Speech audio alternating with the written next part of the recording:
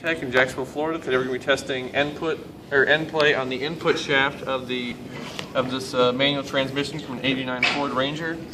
Uh, we're checking to see how much the input shaft moves in and out of the actual housing uh, against the um, against the output shaft. And so basically what you want to do is move it in and out. And you're looking for any movement on the micro on the uh, the run out gauge here. We actually don't have any here, which means the um, which means it's too tight. The shims are too thick behind this plate here. Um, if you have too much end play, uh, what's going to happen is it's going to be wiggling around too much, and it could possibly throw it out of gear while you're driving down the road. And if you have too little, it's not going to be properly lubricating the bearings. You're going to spin a bearing, you know, bust it up, and it's it's not good for anything. You end up having to open it up and change it out.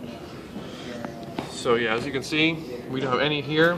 What we're gonna have to do is go into this plate here, and right around this inner ring here is gonna be a set of shims or a single shim, which in the case of it being a single shim, we're gonna take it out and replace it with multiple smaller shims in order to get it back to manufacturer specification and road roadworthiness. So that is end play on the input shaft of a manual transmission.